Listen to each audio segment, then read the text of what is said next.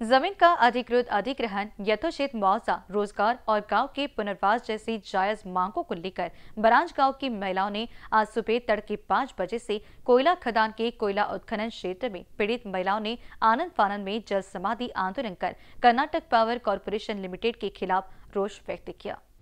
दूसरी तरफ़ आंदोलनकारी महिलाओं ने खदान के दूसरी छोर से कोयला यातायात रोककर जिला प्रशासन और कंपनी प्रबंधन के खिलाफ जमकर अपना आक्रोश व्यक्त किया है। पिछले तिरपन दिनों से अपनी जायज़ मांगों को लेकर बरांज कस्बे की महिला भूख हड़ताल करी है। जिला प्रशासन और कर्नाटक पावर कॉरपोरेशन लिमिटेड प्रबंधन इस भूख हड़ताल को हल्के में लेने से आंदोलन की धार को तेज करते हुए कोयला खदान के तलहटी में जल समाधि आंदोलन की चेतावनी देते हुए कोयला परिवहन को ठप कर दिया है। बराज कस्बे की महिलाओं द्वारा पिछले डेढ़ माह से ज़्यादा समय से आंदोलन किया जा रहा है। अपनी मांगों की ओर केपीसीएल कंपनी और जिला प्रशासन की ओर से हो रही अनदेखी के खिलाफ आंदोलनकारी महिलाओं ने 23 जनवरी को भी आंदोलन कोयला परिवहन रोककर अपना रोष ज़ाहिर किया था। जिला प्रशासन और कंपनी प्रबंधन ने आश्वासन लिखित में देने से कोयला परिवहन आंदोलनकारी महिलाओं ने अपना आंदोलन कुछ समय के लिए पीछे लिया। जायज़ मांगों की पूर्तता न होने पर फिर आज सुबह से आंदोलन का रास्ता अपनाना पड़ा है।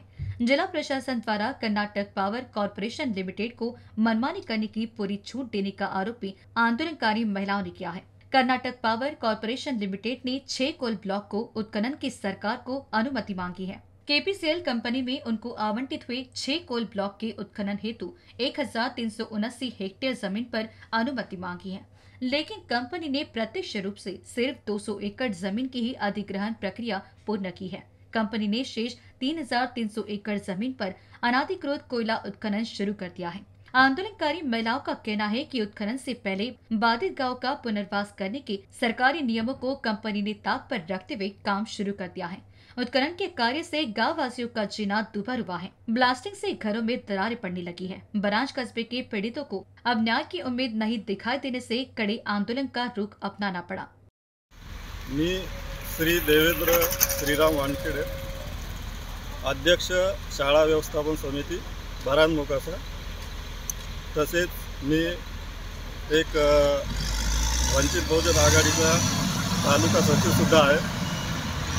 आमच्या गावात कित्येक दिवसापासून या कंपनीच्या जे अवैध उत्खनन आहे आमच्या शाळेच्या बाजूला आज जवळपास दोनशे ते अडीचशे फूट खोल खड्डा केलेला आहे कंपनीनं.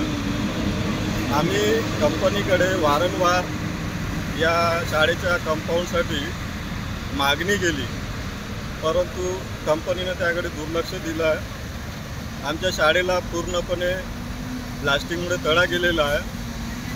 आमच्या इथं शाळेत बसणाऱ्या मुलांचा जीव धोक्यात टाकून आम्ही त्या मुलांना इथं शिकवत आहोत. परंतु शासन प्रशासन कोणतंही लक्ष देत नाही आणि कंपनीसुद्धा लक्ष देत नाही आहे. त्यांच्याकडे आम्ही वारंवार तक्रारसुद्धा केलेलं आहे. आमच्या शाळेचं पूर्ण कंपाऊंड तुटलेलं आहे. आणि आम्ही त्याची मागणी केली परंतु कंपनीनं लक्ष दिलेलं नाही.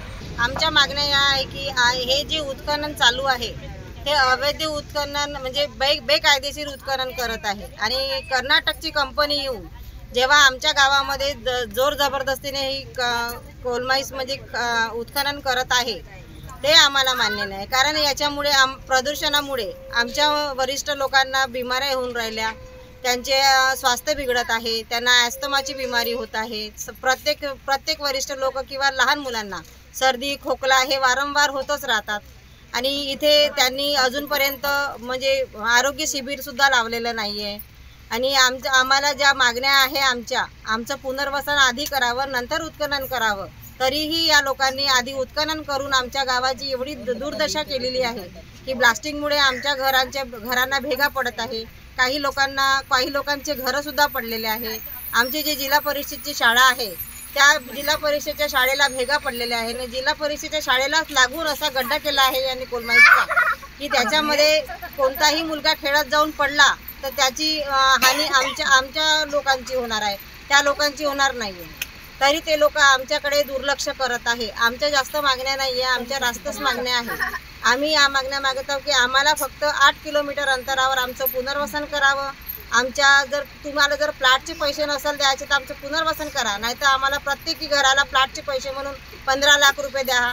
आणि आमचे जे बेरोजगार मुलं आहे त्यांना कायमस्वरूपी कायमस्वरूपी रोजगार द्या. आणि जे नोकरीवर लागलेले मुलं आहे यांनी आधी घेतले होते. त्यांना फक्त दहा हजार रुपये पेमेंट आहे. त्या या हाजरी लावा आणि दहा हजार रुपये आपले महिन्याचे घेऊन जा. याच्याने आमच्या मुलांचं बिघड आमची मुलंसुद्धा बिघडून राहिले आहे. कारण यांना रोजगारच द्यायचा नाही आहे. तर पैसे कशाला देतात? रोजगार द्या. आमचे मुलं रोजगार काम करायला सक्षम आहे. आमच्या मुलांना ज्या ज्या- ज्याची जशी योग्यता आहे तसं त्यांना काम द्या. आणि त्याच योग्यतेनुसार त्यांना पेमेंट द्या. दहा हजारामध्ये आमच्या मुलांचं काही घर चालत नाही आहे आणि आमचे जे बाराशे एकोणसत्तर घरं आहे ते आम्हाला पूर्ण ह्या आमचं आमचं पुनर्वसन करा. आणि जे आमच्या शेती घेतल्या होत्या आधी त्यांनी आम्हाला वाढ रक्कम देतो म्हणून म्हटलं होतं. आठच्या भावाने घेतल्याने त्याने आम्हाला चार चार लाखचाच भाव दिले.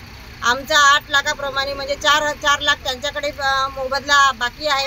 तो मोबदला त्यांनी आम्हाला द्यावं. आणि आम- आमचं जोपर्यंत पुनर्वसन होत नाही तोपर्यंत ही माईन्स बंद करावी. जेणेकरून आमचं जे पाण्याचा प्रॉब्लेम आहे जसं आता पाणी आटत आहे पाणी जर नसेल तर आम्ही कसे जगू? आमच्या गुराढोरांची जागा यांनी उत्खनून टाकलेली आहे. त्याच्यामुळे आमच्या गुराढोरांना चरासाठी जागा नाही आहे आमच्या मुलांचं एवढं नुकसान होत आहे. आमच्या घरांचं नुकसान होत आहे. तरी हे लोक कंपनी बे बेकायदेशीर रित्या ही इथं जबरदस्तीने उत्खनन करून राहिली प्लास्टिकमुळे आमचं आमच्या घराला भेगा पडत आहे. आमच्या काही लोकांची घरं पडलेले आहे. ते लोक असे बांबूचे टाटवे लावून राहत आहे. आणि ब्लास्टिंगमुळे डस्ट डस्ट एवढा असतो की आमच्या जेवणाच्या भांड्यावर सुद्धा डस्ट असतो. तसंच जेवण आम्हाला जेवावं लागते. कारण रोज आम्ही एवढं जेवण फेकू शकत नाही. आम्ही इथे सर्व वनमजुरी करणारे लोक आहोत. त्यांनी आमची आमचा आमच्याकडे दुर्लक्ष शासनही दुर्लक्ष करत आहे आणि त्यांनी जोर जबरदस्तीने इथे काम सुरू करत असल्याने आम्हाला इतका एवढा त्रास आहे की आम्हाला असं वाटतं की जोपर्यंत आमचं पुनर्हो बसन होत नाही तोपर्यंत ही माईन्स बंद करावी. जेणेकरून आमचं पाणी आटणार नाही आम्हाला प्रॉब्लेम होणार नाही. आणि आमचं पुनर्वसन झालं तर आम्ही ह्या आम्ही या कंपनीला पाहायला सुद्धा येणार नाही. बस आम आमची काल कलेक्टर ऑफिसमध्ये मीटिंग झाली होती. कलेक्टरनी त्यांना सांगितलं की तात्काळ यांचे मुद्दे सॉल्व्ह करा. जेव्हा आम्ही चौपन्न किंवा एकावन्न दिवसापासून इथे उपोषण मांडत आहे तर आम्ही आमच्या ज्या मा आहे. आणि आम्हाला ते आमचा हक्क मिळालाच पाहिजे. कारण आमच्या गावामध्ये खूप प्रॉब्लेम आहे डस्टमुळे आणि ह्या कंपनीमुळे आहे